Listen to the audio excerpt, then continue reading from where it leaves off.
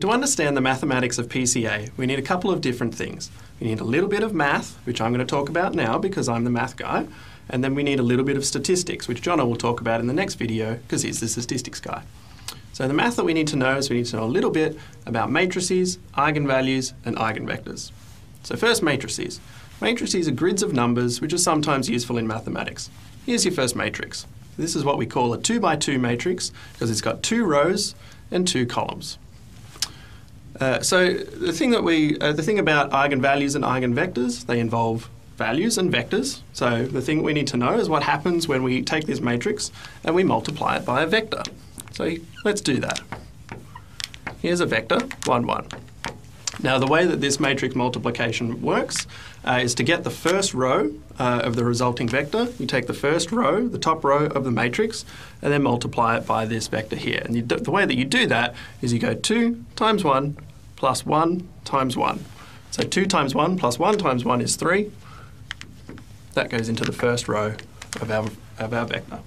To get the second row from the vector over here, we take the second row of the matrix and multiply it by this vector. So to do that, we go 1 times 1 plus 2 times 1. 1 times 1 plus 2 times 1 is 3 again. So that's our vector, and that's how you do the matrix multiplication.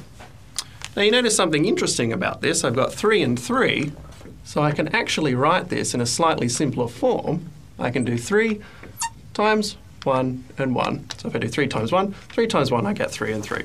Yeah. So this is something unusual, right? Um, I've got a, a, vector here, which when I multiply it by a matrix, I end up with the same vector that I started with times some number, which is 3 in this case.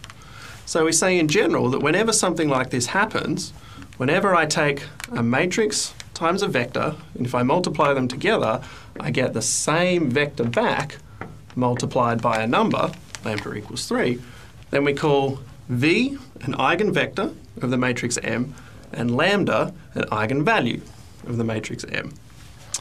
So here we actually have an eigenvector, so V1 equals 1, 1 of this matrix M, and its corresponding eigenvalue is lambda 1 equals 3.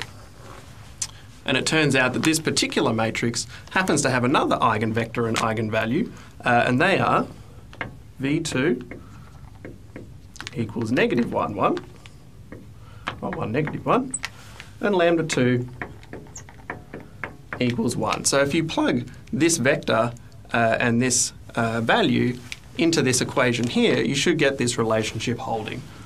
So that's what eigenvalues and eigenvectors are. Now the second piece of the puzzle that we need is of, uh, of covariance matrices, and that's what Jono is going to talk about in the next video.